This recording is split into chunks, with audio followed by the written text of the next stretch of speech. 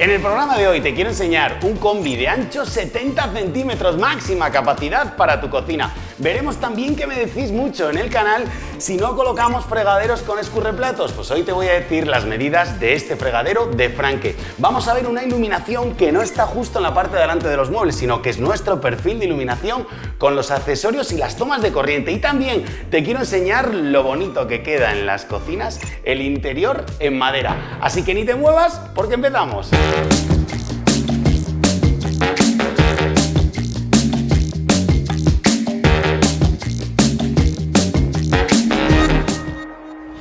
Hola familia, yo soy Daniel Colino de Cocinas CJR y os doy la bienvenida a todas las cocinólogas y a todos los cocinólogos a un nuevo programa. Y quiero que sepas que si has llegado hasta el canal buscando inspiración para tu próxima cocina, oye, enhorabuena, porque vas a encontrar un montonazo de modelos y de colores. Pero si con toda la información que puedes captar en nuestro canal de YouTube todavía no consigues hacer ese proyecto que a ti te gusta, el que te enamora, el que da en la tecla exactamente, quiero que sepas que todo mi equipo y yo te podemos echar una mano. Te dejo aquí abajo en el primer comentario un link para que puedas ver toda la información. Y también te dejo aquí arriba una tarjeta que si quieres la clicas y en un vídeo te lo explico perfectamente. ¿Y hoy, hoy qué vamos a ver? Bueno, hoy estamos en una vivienda que tiene 130 metros y su cocina tiene las siguientes medidas. 7 metros 20 en esta dirección y 2 metros 50 en esta dirección.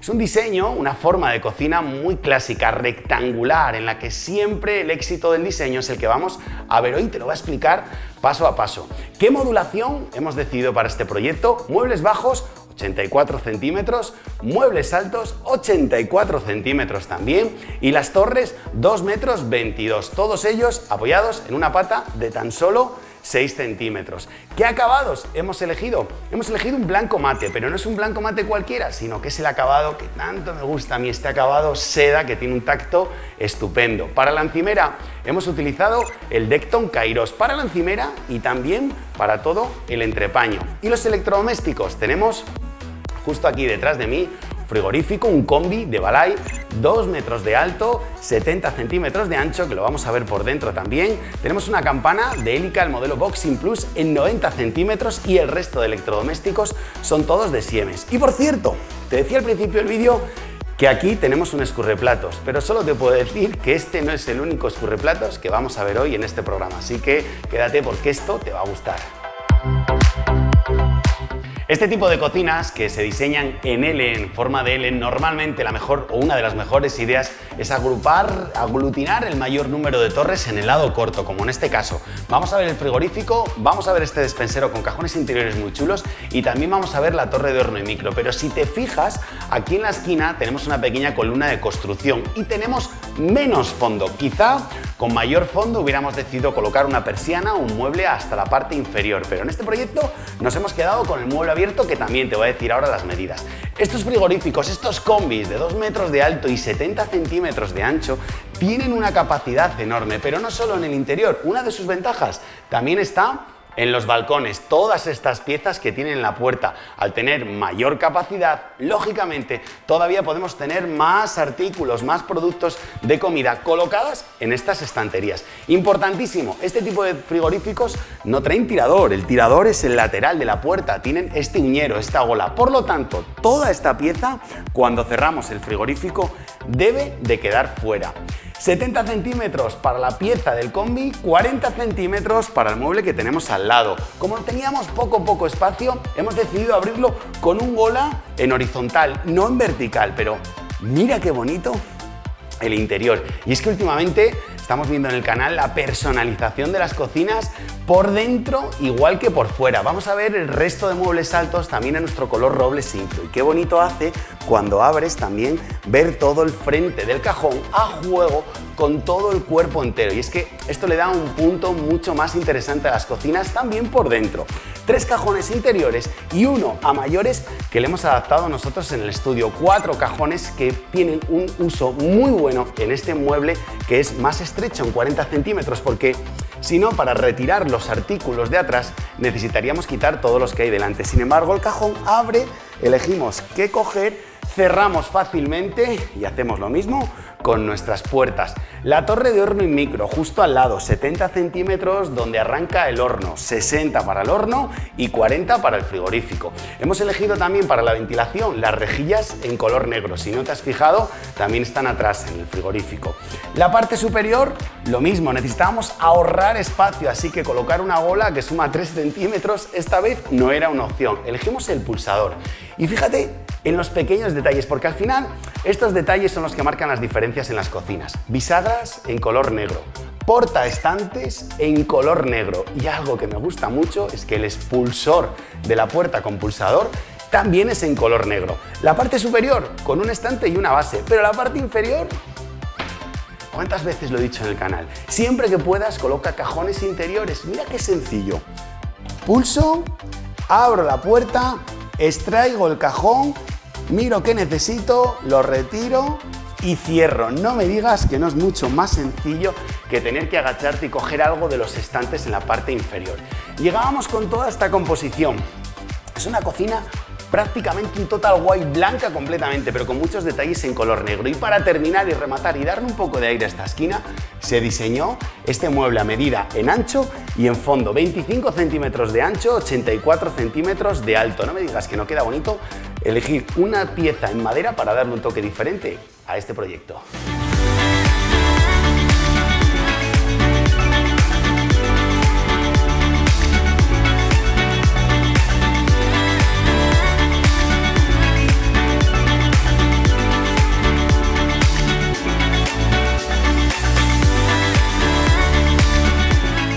Quería explicarte toda la zona de los muebles bajos en esta cocina, pero quiero pararme un segundín en la lavadora, porque muchas veces me preguntan por qué una lavadora que no es de integración no se puede integrar. Bueno, integrar, integrar no, se le puede hacer un armario, un hueco a razón para que entre dentro, pero tiene que ser con más profundidad y con más anchura. Te explico por qué. Mira, aquí tenemos la lavadora en integración. Lo primero que vemos es que ya trae las bisagras incorporadas en la lavadora. No entrarían aquí unas bisagras, aquí no habrá ni medio centímetro. Por eso, cuando no es de integración, hay que hacer un hueco mucho más ancho. ¿Y por qué lo hay que hacer con más fondo? Mira qué bien lo vemos aquí. La lavadora cae plana y justo cuando está llegando a la altura de los zócalos, entra hacia adentro. ¿Cuánto entra hacia adentro? Lo suficiente para que el zócalo, que entra 7 centímetros y medio, pueda pasar por delante y así cuando cerramos la puerta se vea completamente integrada y parezca un mueble como el resto de la cocina. Por eso, si quieres tener una lavadora de integración, lo ideal es comprar un modelo igual que este. ¿Y sabes qué? Aquí teníamos un fregadero un mueble fregadero de 80 centímetros con dos gavetas, pero esta familia, por su ritmo de vida y por sus circunstancias, prefería que le cambiáramos este diseño por una pieza completa que abre hacia afuera, extracción total y tienen los dos cubos de basura en el interior. Cuidado, eh, no hagan esto en sus casas, que este mueble lo hemos adaptado nosotros. Al lado del fregadero, que hay siempre el lavavajillas. Y también te quiero dar un tip, el remate para el lavavajillas de la parte superior, lo ideal es que se haga en tablero marino, porque es natural y normal abrir el lavavajillas y que salgan vapores. Incluso muchas veces introduciendo los vasos y los platos puede que se derrame un poco de agua. Y vamos a ver un botellero, un botellero extraíble. Pocas veces vemos botelleros en el canal, así que quiero aprovechar también para decirte algo que creo que es muy importante. Después de años y años viendo botelleros, estoy muy acostumbrado a ver en otros fabricantes que estas piezas de aquí sean enrejilladas. No me digas por qué, pero normalmente las botellas de aceite que metemos en el interior y muchas de las especies siempre se derrama un poquitín, siempre quedan pequeños sedimentos que caen hacia abajo. Nuestro fabricante de cocinas Santos incorpora en estos muebles extraíbles esta pieza que es una bandeja cerrada completamente. Qué detalle pequeño, pero qué detalle más bueno, porque muchas veces estoy cansado de ver este tipo de muebles con papel albal en la parte inferior, porque siempre pinga algo hacia abajo. Y claro, limpiarlo de ahí atrás es un problema enorme. Los muebles para mí son la espina dorsal de cualquier proyecto, sin duda, son los dos muebles bajo placa. Y tenemos dos grandes muebles de 80 centímetros. Fíjate que súper cubertero. Y es que no me canso de ver estos cuberteros tan bien remataditos con las divisiones en fresno olivo, el fondo en grafeno. Bueno, me parece un espectáculo poder abrir un mueble que era tan sencillo como el cubertero y de repente encontrarte un acabado tan bonito. Siempre abriéndolos con la gola blanca a juego con el resto del proyecto. Zona intermedia. Bueno, pues puede ser un espacio fantástico para meter grandes fuentes y platos, pero también si tienes sitio, puedes elegir colocar algún pequeño electrodoméstico, porque en esta altura de 84 centímetros tenemos mayor capacidad de altura. Todo un cajón cerrado en el perímetro para que nunca los mangos salgan hacia afuera, esté todo aquí bien controladito. Y en la parte inferior, bueno, normalmente nuestros clientes suelen colocar las ollas, las sartenes, pero es por altura, porque esta gaveta es un poco más alta que la intermedia. No te olvides, los separadores de tapas te ayudarán a tener mucho mejor organizado este mueble de cocina. ¿Qué hay detrás de esta puerta? Escobero despensero, dame un momento que te lo digo ahora. Igual que la iluminación, quiero darte dos claves de iluminación y te diré las medidas de esta mesa, pero como empecé el vídeo abriendo esta puerta corredera y sé que es pura tendencia, he decidido hacer un pequeño vídeo donde te explico absolutamente todo y lo he dejado en nuestra cuenta de Instagram, arroba cocinastjr. Así que si quieres saber todos los secretos de esta puerta, te espero en Instagram.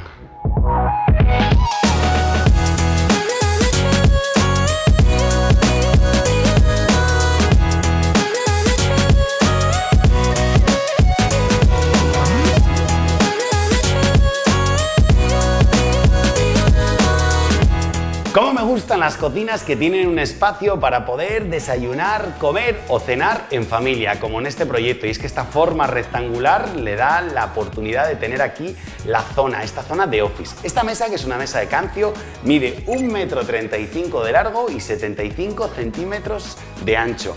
No quería pasar por alto la iluminación que tiene esta cocina y además quería decirte algo muy importante si estás pensando, buscando la forma de iluminar tu cocina. Lo más importante es tener diferentes encendidos, es decir, poder elegir la iluminación que necesitas y que quieres en cada momento. Esta cocina tiene una lámpara central que por supuesto ilumina la mesa, la zona del comedor, pero también tiene una primera tira de LED que cruza, que entra desde el pasillo, que me parece un efecto chulísimo, y penetra en la cocina. Y a mayores, si no quieres la iluminación de las barras de LED porque dan mucha luz, se han colocado dos focos justo aquí en la entrada para poder tener iluminación hacia la cocina. Dos focos que además se encienden a la vez que otros dos que tenemos en esta zona. Por lo tanto, no queremos dar las barras de luz, encendemos los pequeños focos y conseguimos llegar hasta la cocina.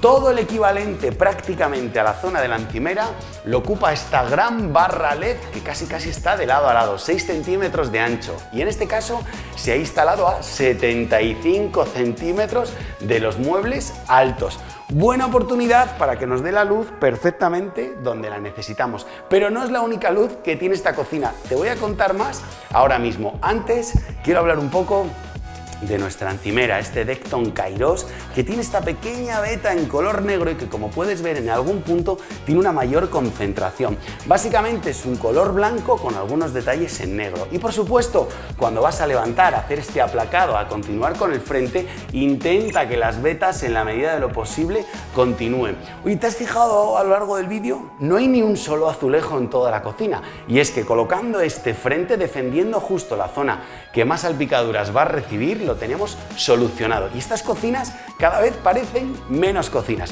Hablando de la iluminación, te decía que vamos a ver muchas más iluminaciones y es que tenemos otro perfil completo de iluminación. Normalmente vemos en los vídeos las barras que están en la parte delantera y que siempre pongo las manos y nos dan la luz justo en la encimera, pero en este caso decidimos incorporar este perfil de iluminación que tiene varias características, te las quiero explicar. El primero, tenemos varios accesorios que se pueden incorporar al carril y como puedes ver los enganches quedan ocultos y salen desde arriba. Para mí tienen un toque y una elegancia perfecta. También podemos incorporar, que fue uno de los motivos, tomas de corriente a lo largo de todo el perfil, casi casi donde queramos. También tenemos el interruptor que activa y desactiva la iluminación. Por supuesto, estas tomas de corriente hay que intentar que no coincidan cerca de la zona de agua. Y por supuesto también la parte que cubre la barra por delante la podemos elegir en cualquier color, a juego, o con la encimera o con el resto de la cocina. Te hablaba del fregadero. ¿Qué medidas tiene este fregadero de Franke? 78 centímetros de largo, una cubeta prácticamente de 50 centímetros y la zona de escurreplatos tiene 32 centímetros. Un pequeño escurreplatos siempre a mano para poder dejar aquí algún recipiente. Y yo creo que lo digo ya en todos los vídeos. Si tienes la oportunidad, elige un grifo extraíble. Mucho más sencillo limpiar todo tu fregadero. También mucho más sencillo cargar cualquier jarra, cualquier cazuela que tengas cercana. Y sobre todo, como ves en este caso, se ha hecho en color negro. Pero a mayores le hemos colocado el dosificador de jabón. No me digas que no es un rollo total estar todo el día sacando del mueble de abajo el jabón. Le echas un poco al estropajo, friegas, te quedas otra vez, vuelves a sacar, metes, saca. Todo el día así no puede ser. Lo ideal es colocar siempre una pieza como esta. Decorado todo en color negro, queda precioso con las vetas de este Decton Kairos. Y ahora sí, voy a explicarte toda la zona de muebles altos y te voy a decir una cosa muy peculiar de esta campana, un problema que hemos tenido y cómo lo hemos solucionado, el problema del ruido y de la extracción. Pero antes, Cinco, muebles con 8 puertas. Cuidado, ¿eh? Simetría máxima, 8 puertas de 45 centímetros. Primera zona, mueble con el interior en color madera. Los pequeños detalles siempre en negro, como estamos viendo a lo largo de todo el proyecto. Y el mueble que tenemos justo delante del fregadero, este es un mueble adaptado por nosotros. Mira, decía que íbamos a ver más de un escurreplatos. ¿Por qué? Yo ya sabía que aquí dentro había otro escurreplatos. Este no es un mueble que venga preparado para colocar un escurreplatos. Los muebles de escurreplatos no traen la base inferior, con la idea de que si pinga alguna gota de agua, algún pequeño chorro, caiga directamente sobre el fregadero. Pero ¿qué ocurría? Como queríamos instalar el perfil de iluminación todo por la parte de atrás, no queríamos correr ni un solo riesgo en que goteara sobre la electricidad del carril. Así que decidimos coger un mueble normal, un mueble alto, retirarle los estantes y adaptarle el escurreplatos. Nuestros clientes saben que tienen que tener mucho ojo porque no es un mueble que venga preparado para que le caiga el agua, pero teniendo cuidado puede ser una buena solución. 90 centímetros, otras dos puertas de 45 y aquí que parece que tenemos otro mueble, no, volvemos a cambiar el paso y hacemos esta puerta para este lado y esta para este lado. Una vez más, con los interiores en negro. Y antes no te lo dije, mira la apertura. Este es nuestro perfil gola en color negro. ¿Por qué?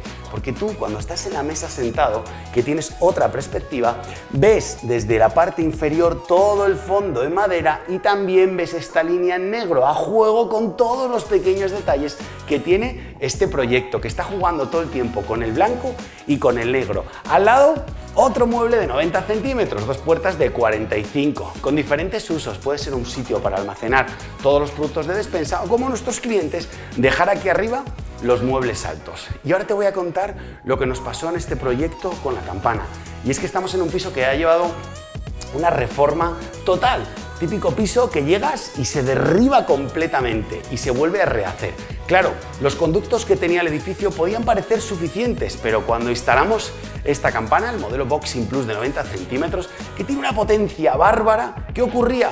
Claro, en ese estrangulamiento que tiene el tubo del edificio, al llegar el aire, no aspiraba todo lo que queríamos y sobre todo metía mucho ruido. Tuvimos que tomar una decisión. ¿Qué hicimos? Pedimos los filtros de carbono, le colocamos los filtros de carbono a la campana y ahora, claro, con la cocina cerrada al techo, teníamos que elegir por dónde te recirculaba, por dónde sacaba el aire sí que hemos colocado estas rejillas. Estas rejillas se le puede dar el uso que te estoy contando para tubos que salgan de campanas en recirculación, pero también si vas a cerrar al techo y están muy comprimidas la zona de torre o el frigorífico, ves que se calientan los electrodomésticos, las puedes colocar también en el cierre al techo de estos electrodomésticos. Y antes te decía, nos quedaba un último mueble, por supuesto también en 45 centímetros, y nos gustaba este diseño a fondo 37,3 que llega y baja, queda recortado, por lo tanto no rompe la visión hacia el resto de la vivienda. ¿Qué hace falta para mantener estas cocinas tan limpias? Bueno, pues un escobero en la parte interior con la misma filosofía y decorado exactamente igual que el resto del proyecto. Oye, vaya cocina más bonita hemos visto hoy en forma de L, un proyecto casi casi total guay, pero con algún punto negro. A mí me ha encantado presentarte este proyecto. Yo soy Daniel Colino y nos vemos en el próximo vídeo. ¡Adiós!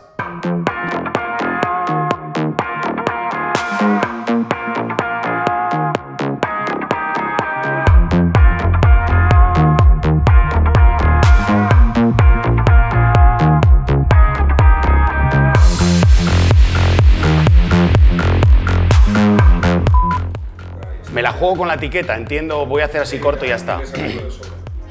Ay, es que hiciste así, dije algo pasa. Si empezar a ver, me ha subido, el, me ha subido el, el fuego todo lo que quiero decir. Un abrazo para toda mi gente de Centroamérica y de Latinoamérica. Os tengo aquí en el corazón.